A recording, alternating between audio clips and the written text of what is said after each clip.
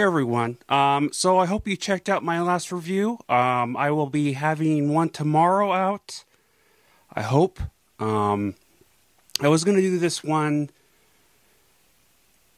tomorrow, but I decided to do more. Now, I didn't know this was three hours, so I probably wouldn't have done until tomorrow if I knew that. But I already started watching it, so. Um, by the way, this is a request by Price Faster. I have done a couple by him.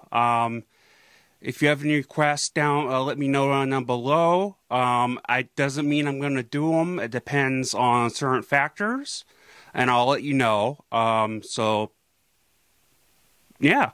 Um, up front, I am not a fan at all of uh, Matthew McConaughey's acting. Um, but I will say he definitely did a good job in here.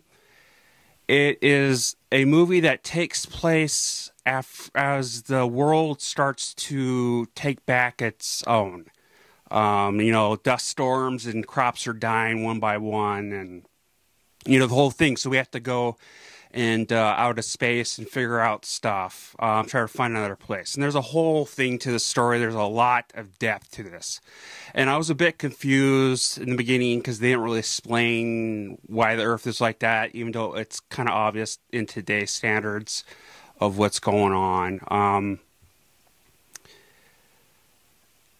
it, it, it was boring, but then it picks up and then it stops and then picks up again there's definitely a part in there that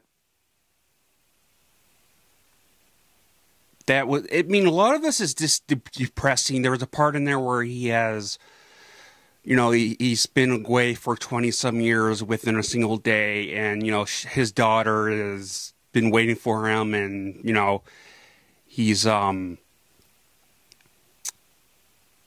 you know like uh she is about I, I I'm guessing like her 30s or 40s, and um, you know, it's the whole thing. And then I'm glad they they got into where she they have more of her story in here as she's older, and it's it's just it's a really good, you know, heartwarming kind of heart tugging kind of movie. Um, and different scientific things. I've I've heard that I watched a couple videos on this and other ones that this is not as scientifically scientifically accurate.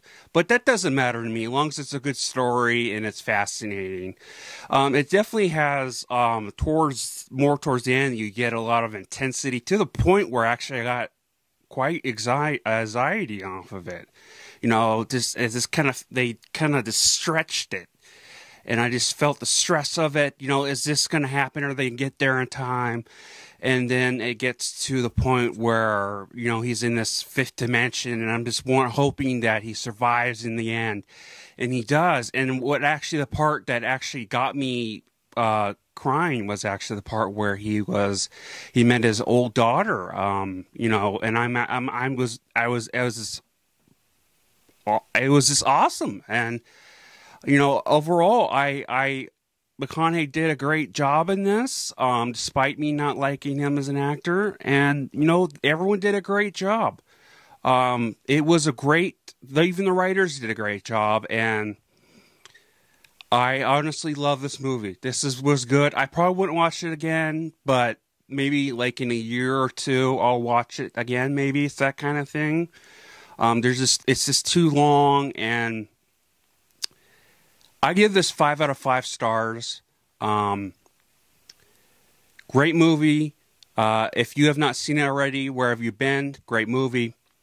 Uh, please like and subscribe, and uh, I'll have more movies out, uh, reviews out for you this week.